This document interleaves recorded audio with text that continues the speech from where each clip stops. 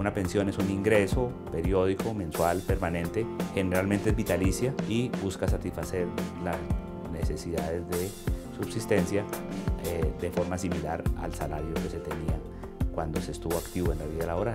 Tienen derecho a pensionarse las personas que cumplen los requisitos de pensión de vejez, tienen derecho a pensionarse las personas que habiendo estado en la actividad laboral quedan en una situación de invalidez o tienen derecho a recibir pensión cuando fallece una persona que estaba activa en la vida laboral, que sostenía a su familia, su pareja y sus hijos bajo determinadas circunstancias obtienen el derecho a la pensión que se llama de sobrevivientes. El sistema pensional colombiano está organizado a partir de la Ley 100 de 1993 en dos grandes regímenes.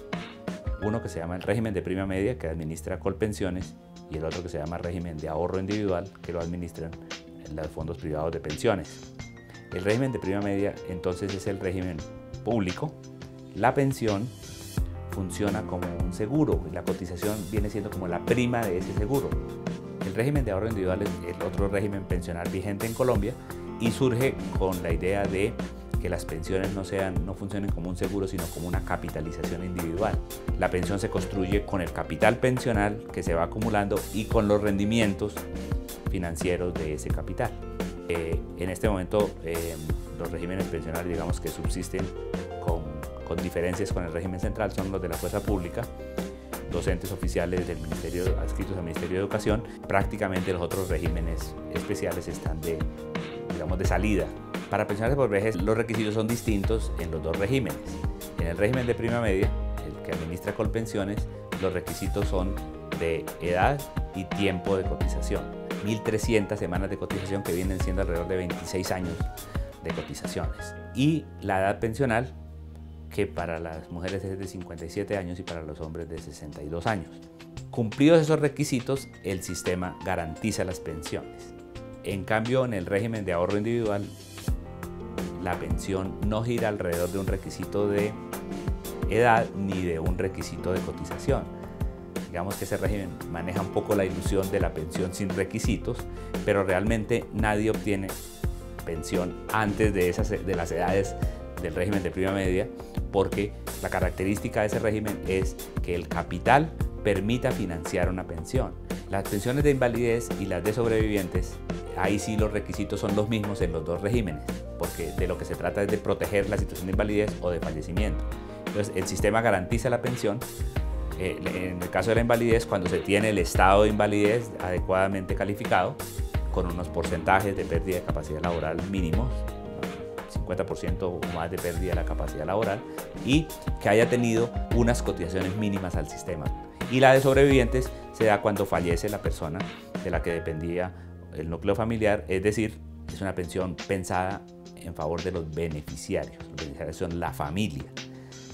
Entonces la pareja del fallecido, en principio, es la que tiene derecho si demuestra haber, convivido hasta el fallecimiento de la persona. Los hijos tienen derecho si son menores, si son mayores de edad, pero se encuentran estudiando y se tiene derecho hasta los 25 años. O un hijo tiene derecho, en principio vitalicio, si, es, tiene una condición de invalidez o discapacidad el 70% de las personas eh, en Colombia no, no, está construyendo pensión para su, para su vejez, es decir, el sistema solo está cubriendo alrededor del 30%. La pensión en el régimen de prima media se sabe con claridad qué cantidad de pensión se va a tener sobre los ingresos sobre los cuales se haya aportado. El sistema calcula las pensiones sobre los salarios sobre los cuales se aportó en los últimos 10 años de la vida laboral. En el de ahorro individual, la indeterminación está dada por la rentabilidad de los capitales en los fondos privados. Y esas rentabilidades no han tenido el resultado esperado cuando se proyectó el sistema.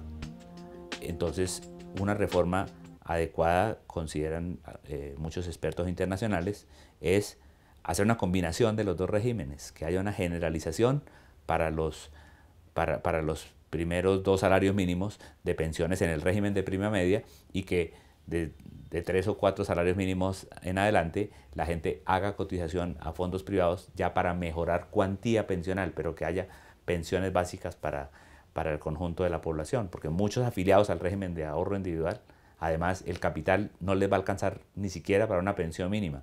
Y entonces van a terminar es en devolución de saldos la entrega del capital pensional para que se defiendan como puedan cuando de eso no se trata un sistema pensional.